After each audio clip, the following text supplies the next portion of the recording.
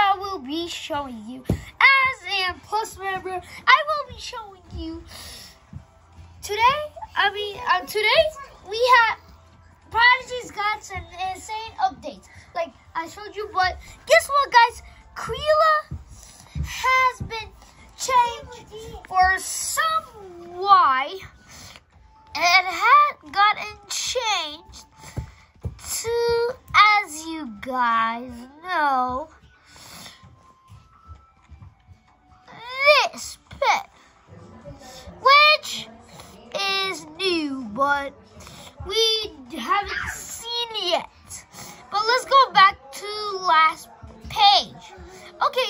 we're right there And what are these?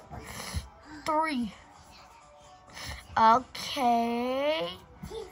This and then this. What is this new prodigy Oh! It's about that prodigy Yep. And that that prodigy that Crayola turned into one real good pet. All are gonna talk about. Let's go ahead and search up Tellier. I think his name is that Tell E tell your tell your. Ah, uh, no. Let's go search pra ra ah ra d d g g. Tell your tarot. Yep. This is the new pet that we just got. It is called Telly Telro, which is really a good pet. Yup. And now it disappeared. Yup. And it is really, really good that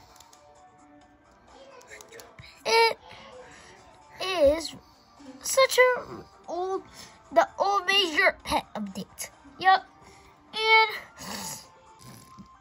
old star pets update. Yep. Teller. Yup. And Tellier just got a new update from Crayola to Tellier and from Celestate to another and from Celestate to another. Yep. That's the big evolution we got there. And please, Prodigy, tell us some more new pet updates. Um, the major, oops, major pet update. Yep. And so, that week. and guys, if you could please, really, really, really, please subscribe to us so we could reach 10K by at the end of this year. I think it's possible, but I think it's not. And let's go, guys.